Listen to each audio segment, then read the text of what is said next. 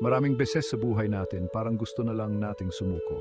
Pakiramdam natin, wala nang solusyon, wala nang pag-asa. Pero alam nyo ba, mga kaibigan, kahit sa pinakamadilim na parte ng buhay natin, may liwanag na laging nagniningning para sa atin. Isang liwanag na hindi tayo iwan, hindi tayo pababayaan.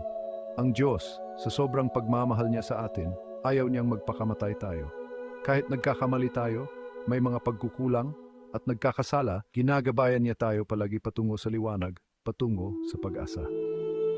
Sa video na ito, samahan niyo akong alamin ang sampung dahilan kung bakit ayaw ng Diyos na magpakamatay tayo. Dahil higit sa lahat, ang buhay ay regalo, isang biyaya mula sa Diyos.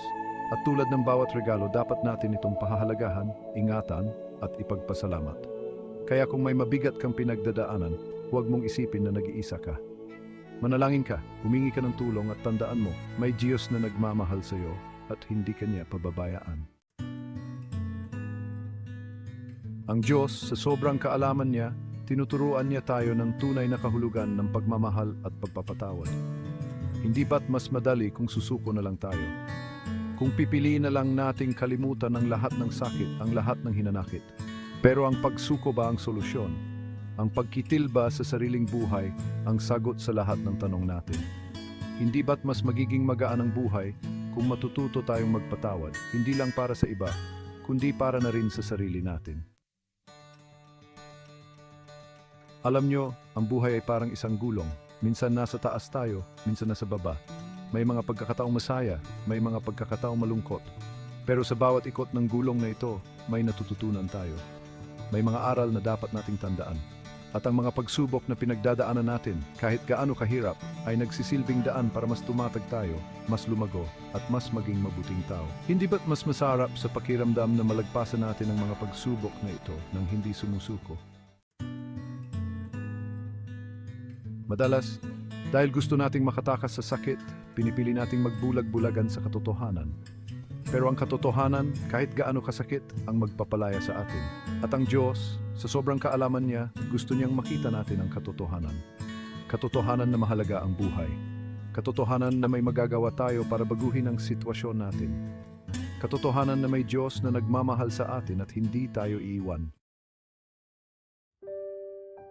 Chapter 4 Ang Diyos ay pag-ibig, at ang pag-ibig na ito ay pantay-pantay. Hindi ito nakabatay sa estado natin sa buhay, sa itsura natin o sa mga nagawa natin. Ang pag-ibig ng Diyos ay para sa lahat. Kaya kung sa tingin mo ay wala nang nagmamahal sa iyo, tandaan mo na may Diyos na patuloy na nagmamahal sa iyo, kahit ano ka pa at walang hanggan. At ang pagmamahal na ito ang magbibigay sa iyo ng lakas para harapin ang bawat pagsubok, ang bawat hamon ng buhay. Chapter 5 Ang daming pagkukunwari sa buhay. Madalas, napipilitan tayong magpanggap, itago ang tunay nating nararamdaman.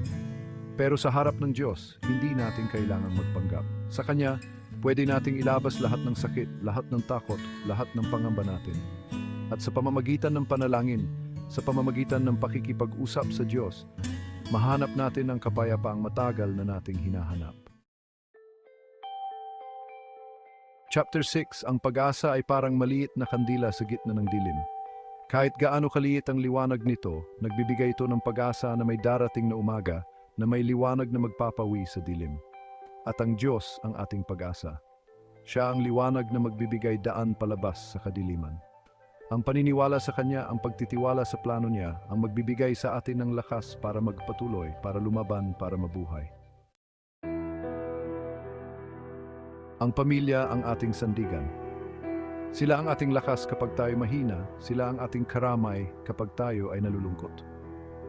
At alam niyo ba na ang Diyos sa sobrang pagmamahal niya sa atin, gusto niya tayong makitang masaya kasama ang ating pamilya. Kaya kung sa tingin mo ay wala ng halaga ang buhay mo, isipin mo ang iyong pamilya. Isipin mo ang sakit na mararamdaman nila kung mawawala ka. Isipin mo ang mga alaalang may iwan mo sa kanila. Walang taong perpekto. Lahat tayo ay nagkakamali.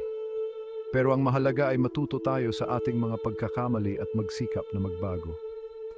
At ang Diyos, sa pagmamahal niya sa atin, handa siyang magbigay sa atin ng pangalawang pagkakataon.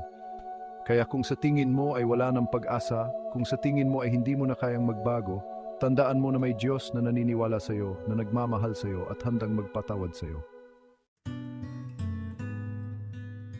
Minsan, dahil gusto nating makuha ang gusto natin, naliligaw tayo ng landas.